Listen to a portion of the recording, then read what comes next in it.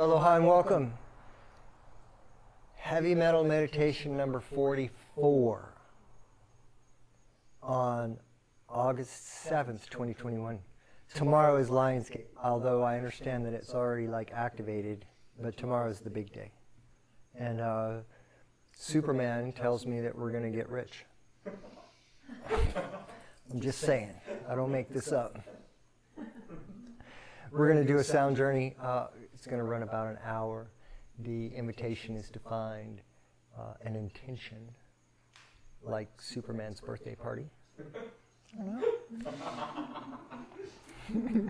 and to get that firmly in your consciousness before we start this journey or as we're starting this journey. Um, additional invitations are to, to find yourself in a very comfortable space where you can be relatively still for an hour. Um, doesn't matter if you move some, but it's always nice to just lay down and absorb, or sit up and absorb if you like to stay completely awake and conscious during the process. Um, Amy and I are going to do this heavy metal, crystal bowls, a RAV drum, a few other fun things that make tinkly, nice noises. And as we get started, it is our custom to share three deep, slow breaths, completely filling up the, the, from the belly on up to the top of the lungs, gently holding for a few seconds, and then just as gently releasing and allowing that to uh, flow out. And while we do that, I like to grow roots in the Mama Gaia, and this sets up an energy transfer space for anything I don't need to flow out and anything that I might need that Mama Gaia can offer to flow up and in. For me, that looks like banyan roots. So if I'm laying down, I get like roots from my head all the way down to my feet. And when I'm standing, they just logs. It's amazing. What else do we have? Hydration. Hydration. Have water with you. If you don't now, that's okay. Drink water after. Plenty water. We'll talk about that at the end. Ready? I think so. So we'll be doing this about an hour. It'll get loud and soft and loud and soft and make a few changes and shifts and then it'll get quiet for a little bit longer and then I'm going to play the RAV drum and then I'll let it sit for a few minutes and then I'll talk you back. So, if you want for the adventure part of it, just take a body scan, see where you are, see if there's any places of tension that you'd like to release or that you're just aware of. And then again at the at the end you'll be invited to do the same thing just to kind of check in and see if this actually does anything for you. All right. We'll see you in a while. Hello.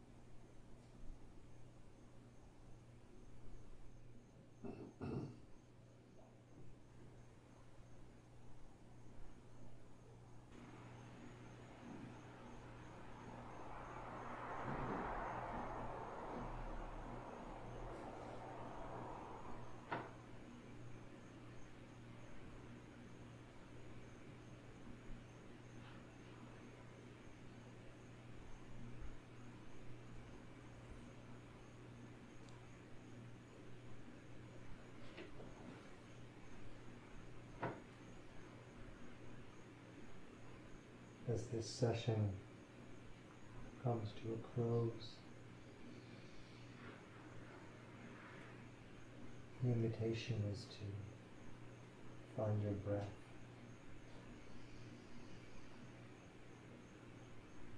And let it bring you home.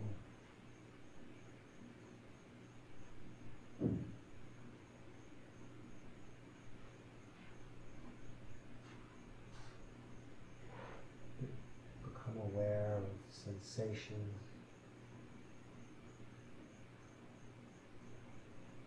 Maybe the rising and falling of your chest with your breath.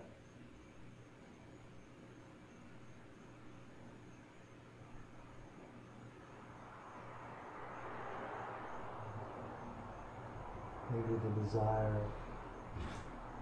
of your muscles to move.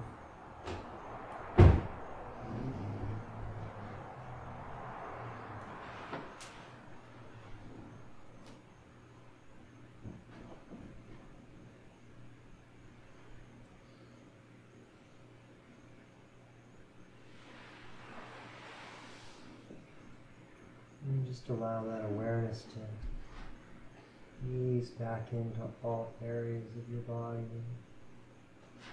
I want to just check in on where we started. If, if there's a difference between now and then,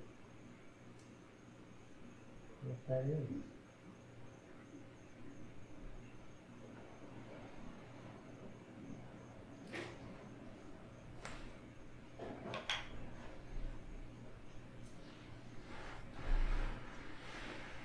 I had the privilege today with a few of my MKP brothers to sit in on what's being called a Survivors Expression Circle.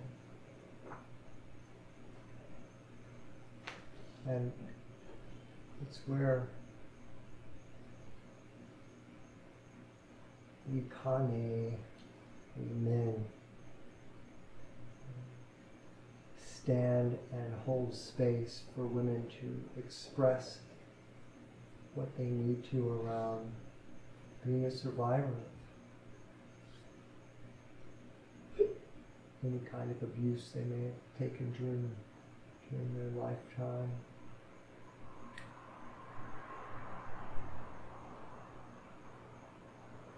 This is the third one we've done, it's, it's really powerful to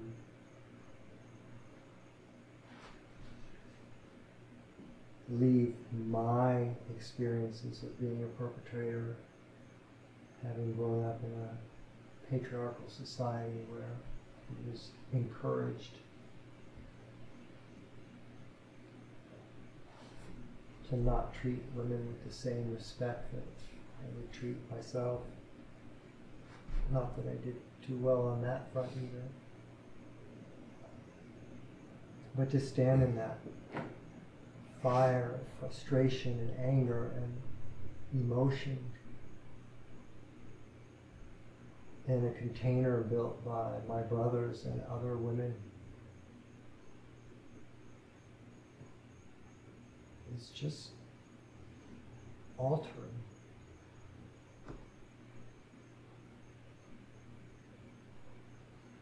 It reminds me to be careful with my thoughts and my words and my actions.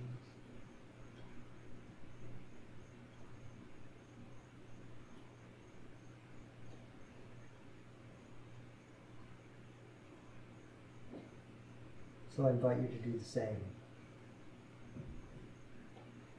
This awareness that's built in a practice like sitting with gongs and allowing vibrations to move through you has the ability to wake you up. And Rumi says, don't go back to sleep.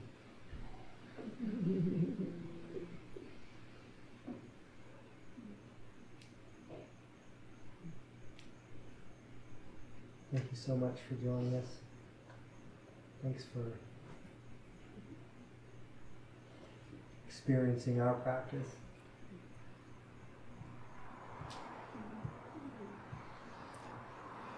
And tomorrow is Lion's Gate. So if you don't know what that means, Google it. Use it. Powerful time, powerful alignments. It's a new moon as well, which means not only is the sun and the earth and the moon and Aries. Serious? Sirius in alignment.